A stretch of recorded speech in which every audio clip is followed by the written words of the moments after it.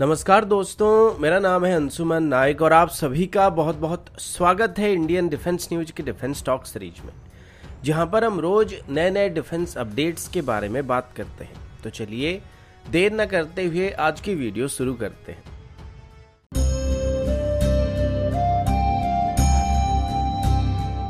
अब वीडियो में आगे बढ़ने से पहले आप सभी को दशहरा की ढेर सारी शुभकामनाएँ। तो आज की पहली अपडेट के बारे में बात करते हैं। आज की पहली अपडेट अस्त्र मार्क टू मिसाइल को लेके तो कल इस पर एक प्रमोशनल वीडियो इंडियन एयरफोर्स की तरफ़ से रिलीज़ किया गया था, जिसमें आने वाले एयरफोर्स डे के अवसर पर इंडियन एयरफोर्स की तरफ़ से एक वीडियो को रिलीज़ किया जा रहा था और इस पूरे वीडियो में दिखा गया था कि इंडियन एयरफोर्स की फॉर्मेशन से लेके आज तक हमने क्या क्या हासिल किया है और लगभग 90 साल पूरा होने के अवसर पर इस वीडियो को रिलीज़ किया गया था। इसी में छोटा सा पार्ट था जिसमें अस्त्र मार्क टू मिसाइल को भी एस यू थर्टी एम से लॉन्च करता हुआ दिखाया गया था। अब इसको लेके काफ़ी सारा हाइप अभी क्रिएट हो चुका है, क्योंकि ये हमारा नेक्स्ट जनरेशन बीवीआर मिसाइल होने वाला है, जिसकी रेंज 160 किलोमीटर से ज़्यादा होने वाली और ये मिसाइल चाइना की पी एल और यूनाइटेड स्टेट की एमराम डी मिसाइल को टक्कर दे सकता है। लेकिन अभी जो इसकी प्रोमोशनल वीडियो रिलीज़ किया गया था, इसको लेके लोगों को लगता है कि शायद ये कोई नई वीडियो है, और अभी फ्रेशली इसको टेस्ट किया गया अगर आपको याद होगा मई के एंड में एक रिपोर्ट सामने आया था जिसमें बताया गया था तब इंडियन एयरफोर्स की तरफ़ से अस्त्र मार्क टू मिसाइल की टेस्ट को करने की प्लानिंग किया जा रहा था, और ये इसी का इनिशियल ट्रायल होने वाला था, जिसमें डमी मिसाइल को टेस्ट करने की बात की गई थी।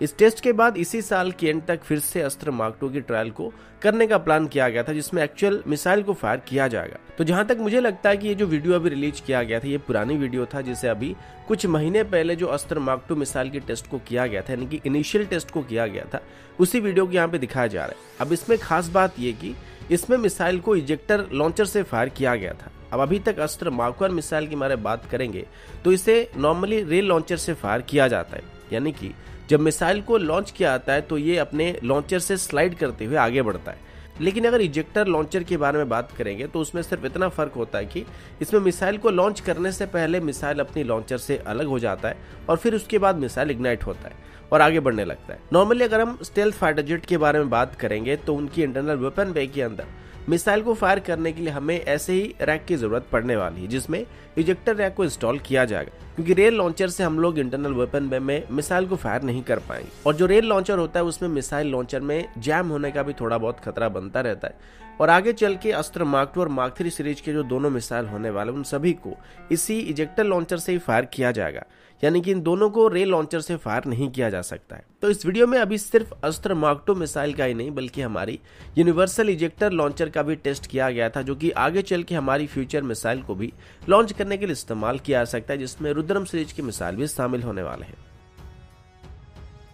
अगला अपडेट इंडियन एयरफोर्स की तरफ़ से, और अभी हम इंडियन एयरफोर्स की सुखोई फ्लीट के बारे में बात करने वाले हैं। आप सभी को मैंने कुछ दिन पहले बताया था कि अभी इंडियन एयरफोर्स की तरफ़ से अपनी सुखोई फ्लीट को अपग्रेड करने का फैसला किया गया था। वैसे अभी तक सुखोई को सुपर सुखोई स्टैंडर्ड में अपग्रेड करना शुरू कर देना चाहिए था, लेकिन ये काफ़ी हद तक डिले हो चुका है। लेकिन लगभग पंद्रह दिन पहले ही इंडियन एयरफोर्स की तरफ़ से बात सामने आया था कि वो अभी सुखोई फ्लीट को फर्दर अपग्रेड करने के लिए अपनी जनरल स्टाफ क्वालिटेटिव रिक्वायरमेंट को फाइनलाइज कर रहे थे, जिसके बाद इनको आगे चल के अपग्रेड करना शुरू कर दिया जाएगा। अभी रिसेंटली कल इसको लेकर जब हमारे एयरफोर्स के चीफ बात कर रहे थे उन्होंने बताया कि ये जो बेसिक रिक्वायरमेंट था, उनको अभी फाइनलाइज किया जा चुका है, जिसमें कंप्लीट लिस्ट है कि आगे चल के सुखोई को किस तरीके से अपग्रेड किया जाएगा। इसमें अभी तक सुखोई में जो भी अपग्रेड प्लान किया जा रहा है, वो सभी के सभी इंडियन सिस्टम होने वाले हैं और कोई भी रशियन सिस्टम को इस अपग्रेड में शामिल करने के लिए मना किया गया अब अभी सुखोई को बैच में अपग्रेड करने का प्लान किया जाए यानी कि एक बार में सभी सुखोई को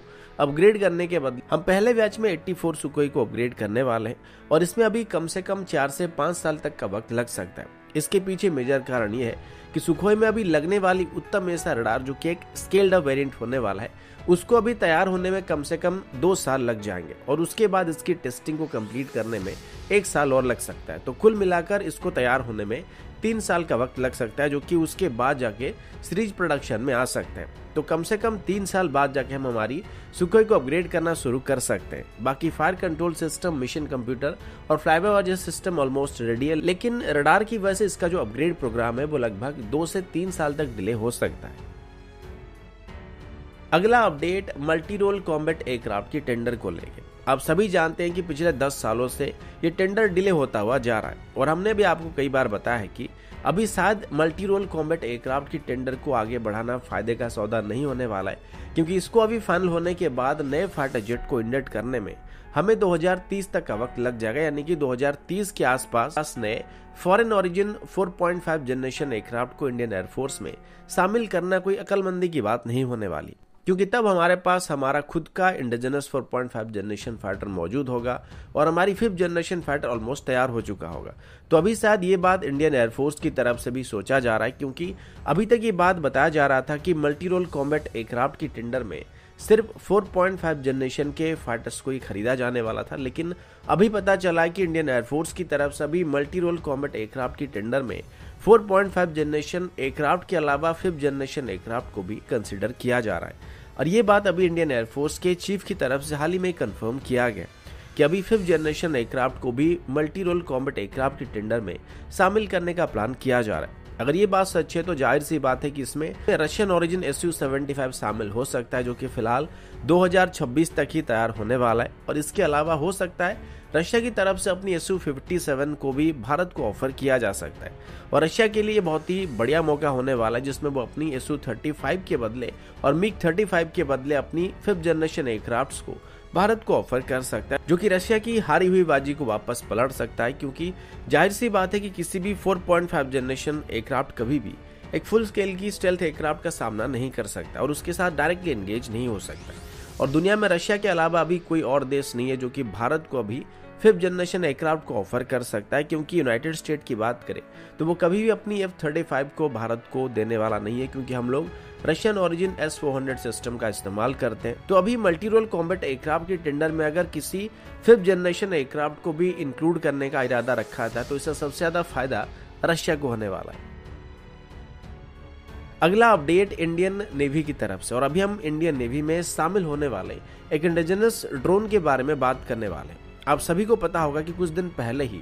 वरुणा नाम के एक ड्रोन को टेस्ट किया जा रहा था, जिसको इंडियन नेवी की तरफ़ से टेस्ट किया गया था। ये ड्रोन सागर डिफेंस की तरफ़ से बनाया गया था, जो कि एक कार्गो ड्रोन है, और इसमें ह्यूमन को भी एक जगह से दूसरी जगह ट्रांसफ़र किया जा सकता है। इसका जो प्राइमरी टारगेट था, वो एक नेवल ड्रोन के तौर पर इसको इस्तेमाल करना था, जिसमें अगर ज़रूरत पड़े तो एक जहाज़ से दूसरे जहाज़ में अगर कार्गो को ट्रांसपोर्ट किया जा सकेगा, या फिर घायल जवानों को भी एक जगह से दूसरे जगह ट्रांसपोर्ट किया जा सकेगा। और ये कॉस्ट इफ़ेक्टिव सोल्यूशन होगा। क्योंकि आमतौर पर अगर किसी एक शिप से दूसरे शिप में कोई सामान भेजने की ज़रूरत पड़ती है, किसी इंसान को एक शिप से दूसरे शिप में भेजने की ज़रूरत पड़ती है तो ऐसे में या तो दोनों सिप के बीच कोई ब्रिज को बनाना पड़ता है, जिसमें दोनों सिप को काफ़ी करीब रहकर ही एक दूसरे के साथ पैरेलल वे में चलना पड़ता है, और इसी दौरान एक सिप से दूसरे सिप में सामान को ट्रांसफ़र किया जाता है। लेकिन ये एक बहुत ही टाइम कंज्यूमिंग और रिस्की प्रोसेस होता है, जिसमें आपस में जहाज़ टकराने का खतरा भी बनता रहता है। अब इसके अलावा दूसरा ऑप्शन ये कि हेलीकॉप्टर की मदद से कार्गो को एक शिप से दूसरे शिप में लिया जा सकता है, लेकिन ये थोड़ा कॉस्टली पड़ जाते हैं। तो इसी का cost effective solution Sagar defence की तरफ़ से निकाला गया था, जिसमें वरुणा नाम की ड्रोन का इस्तेमाल किया जा सकता है और इसमें सौ के तक की कार्गो को एक जहाज़ से दूसरे जहाज़ तक ट्रांसफ़र किया जा सकता है। और ये करीब 25 से 30 किलोमीटर के डिस्टेंस को सिंगल चार्ज में कवर कर सकता है और लगातार 25 से 30 मिनट तक उड़ान भर सकता है। पिछली बार जब इसको टेस्ट किया गया था तो उसको एक पैसेंजर को एक जगह से दूसरी जगह ले जाते हुए दिखाया गया था और अभी इसको ऑफिशियली नेवी में कमीशन करने का विचार किया जा रहा है। तो दोस्तों, अभी के लिए इतना ही। मिलता हूँ आपसे अगले वीडियो में। तब तक के लिए जय हिंद, वंदे मातरम।